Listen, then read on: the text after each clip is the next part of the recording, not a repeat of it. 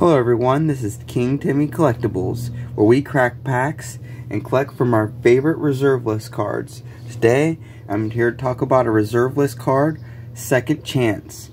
I have seven moderately played copies and my very first near mint copy. I currently own 33 and hope to own 100 of them by the end of the year. And I'm going to be diversifying in other reserve list card collecting here soon.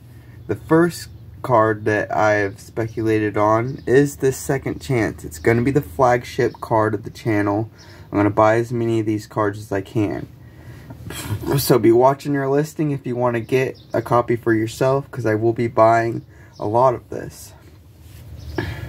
There's a channel called MTG Moxman that I follow where he does on Sundays the top 10 most bought reserve list cards of the week, where him and his group of people either buy out cards or people from even outside the group that are buying on reserve list cards. You can see what people are buying. I highly recommend going to his channel and checking it out.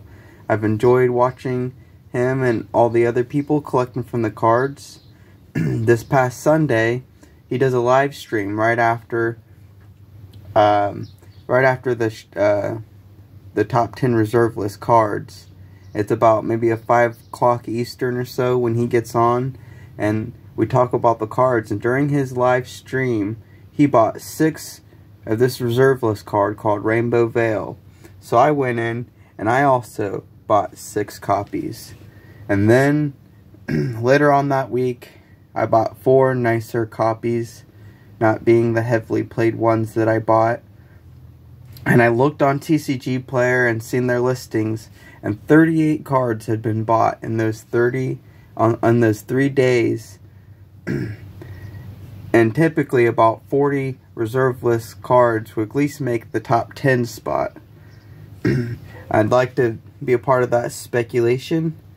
There's a long time ago, about a year ago, where this second chance was on the MTG Moxman channel, where 420 copies were bought and I got to be a part of that, only getting three, although the price has gone back down, and I really enjoy the card and the old art from the Magic the Gathering. If you collect reserve list cards of any kind, have a favorite card, please let me know. We have a goal of 100 subscribers, so if you enjoy these videos, please like and subscribe. And for now, Peace out.